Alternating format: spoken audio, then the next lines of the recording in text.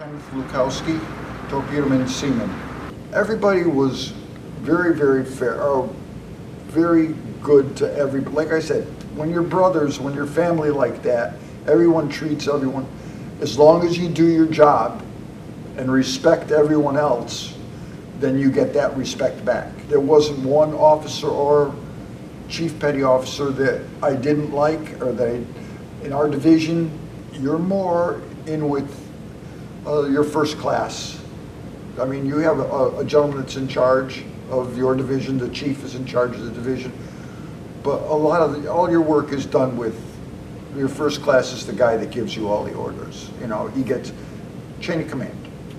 That's how it worked. We hit a, a- well, uh, I call it a tsunami because I lived over there, but uh, we were doing, uh, I think they said 31 degree rolls. We were like this. They said another two or three degrees and we'd have flipped. Yeah, high winds and heavy, stand by for high winds and heavy seas.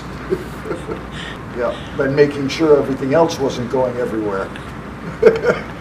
Well, the racks were so close together, you weren't going, because they were, they were just canvas. So you're not going anywhere once you're in there. It just lays right down inside. So We went to, um, we stopped in Hong Kong on the way back from uh, Yokosuka after we put the gun mount on.